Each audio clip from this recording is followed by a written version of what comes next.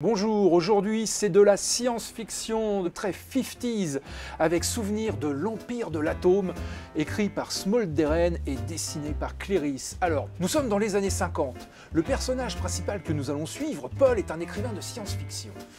Et il a un petit quelque chose qui le différencie du reste de l'humanité. Il est en contact télépathique depuis son enfance avec une gloire, un héros d'une épopée galactique qui aura lieu dans le futur.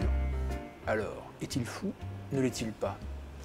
Il va quand même être suivi par un psychiatre, ça va lui poser quelques difficultés au niveau de son travail.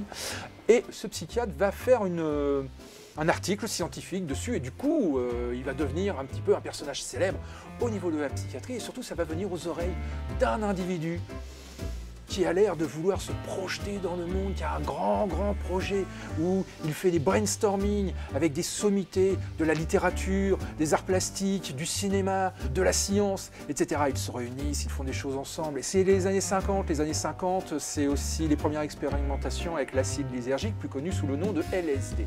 Alors, non seulement l'album, il est beau, il est magnifique.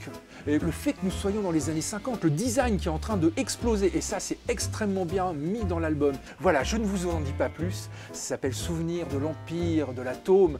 C'est fait par Smolderen et Cléris. C'est absolument splendide. C'est aux éditions d'Argo et c'est vraiment un très très très bon moment de lecture. Et allez, on peut le conseiller à partir de 12 ans. Je vous dis à la semaine prochaine.